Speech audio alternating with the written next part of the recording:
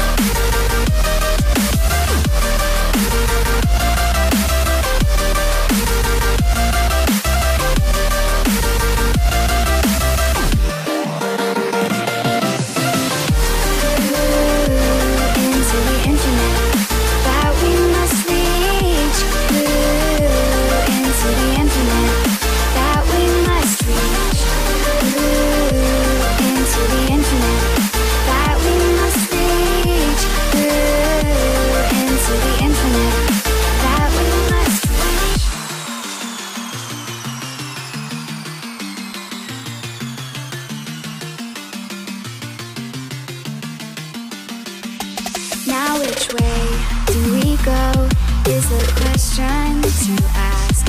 There are so many choices that it's hard not to look past. What is real?